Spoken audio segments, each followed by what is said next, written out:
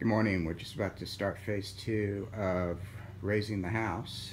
As you'll recall, we are bringing the floors and the roofs of this house up 16 inches and we're doing it in two stages.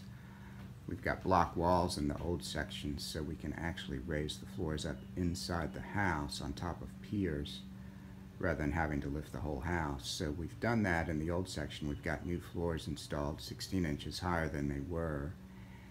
And as you can see, the, this section is about 16 inches lower than that section because that one's got the new raised floors. So this, the additions, the, the uh, stick additions, will be demolished and rebuilt 16 inches higher, but the, the old block section will be, uh, will be saved and we're just going to lift the floors up and then raise the ceilings, raise the roofs on those sections. So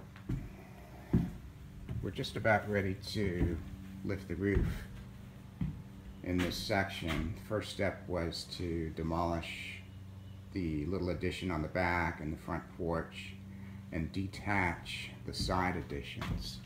So we cut the roofs, we just sliced the roofs all the way through on both of the side additions, so those are disconnected uh, from this center roof now. And we've done a lot of bracing here. We've got, we built these trusses to strengthen the roof. We've got two of those. And we put some rafter ties up there, just some temporary 2x4 rafter ties just to give it a little lateral strength. And we reinforced both gable ends by screwing some 4x4s onto those jack studs and those connect to the sill down below.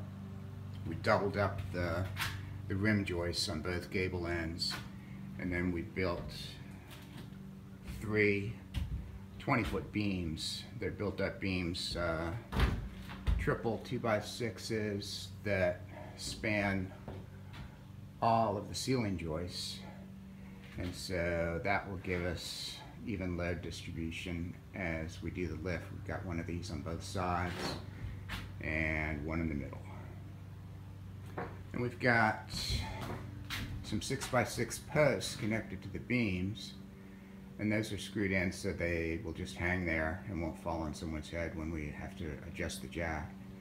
And we've got bottle jack underneath each of those posts.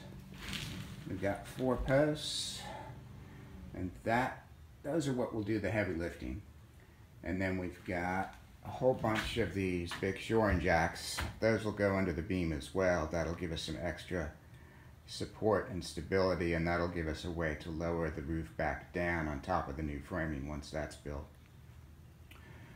So a little more prep to do today and we'll probably do the lift tomorrow. So stay tuned.